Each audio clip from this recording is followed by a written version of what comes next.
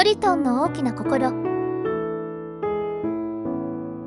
の森には優しいティラノザウルスのトリトンが住んでいました。他の恐竜たちはトリトンの大きさを恐れて遊んでいました。トリトンは一人で遊んでいましたが心の中では友達が欲しかった。ある日小さな恐竜たちが困っているのを見つけトリトンは助けてあげました。それから小さな恐竜たちはトリトンの優しさを知り一緒に遊ぶようになりました。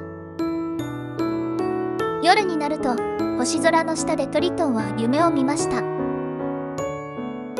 その夢の中でトリトンは空を飛び自由を感じました。朝になりトリトンは夢から目を覚ました。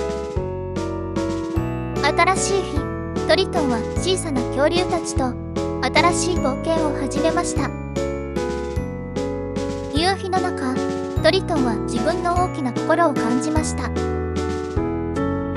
夜になりトリトンと小さな恐竜たちはキャンプファイヤーを囲みました。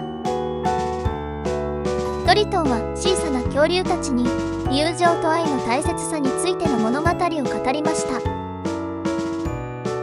みんなで一緒に眠りにつきました。新しい朝が来ました。トリトンと小さな恐竜たちは新しい日の冒険を楽しみにしていました。おしまい。